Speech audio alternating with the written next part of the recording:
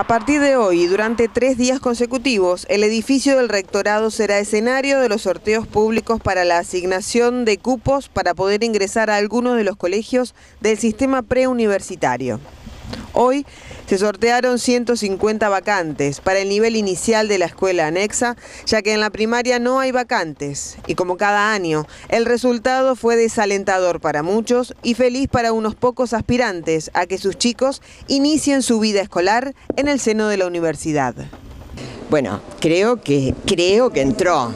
Vengo, estoy haciendo averiguaciones. Está en el lugar 31 el número de ella para la sala de tres años. Así que esperemos que, que haya entrado.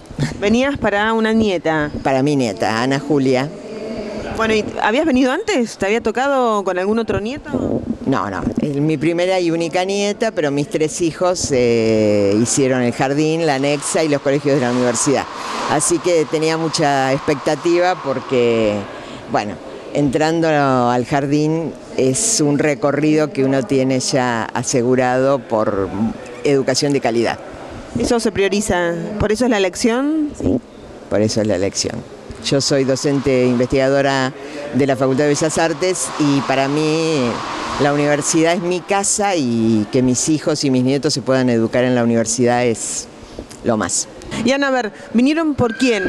Por mi hija, para que sea, este, para ver si sale en el sorteo, pero no, no fue Para que entrara al jardín. Jardín de tres años, sí. Pero mucho postulante hubo para 50 vacantes.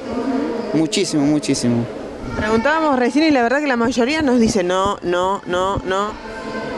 ¿Y qué vamos a hacer que tener suerte? Para el próximo año será. ¿Cómo fue? Mal, mal, ni posibilidades en lista de espera, nada.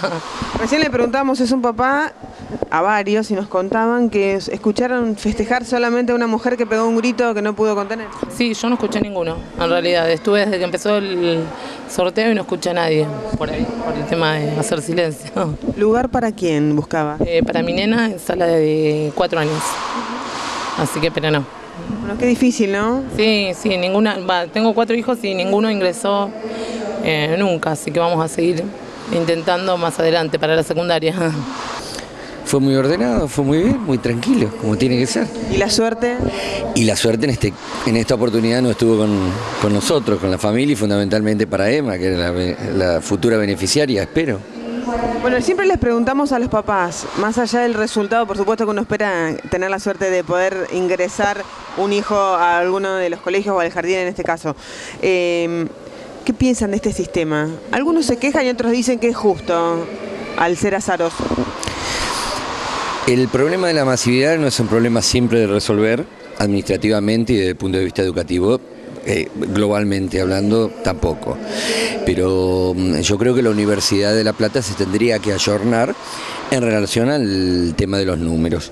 Y para eso generar presupuestos, para generar nuevas aulas y dar nuevos empleos a docentes desde el nivel inicial, desde los tres años o menos, hasta este, el nivel universitario también.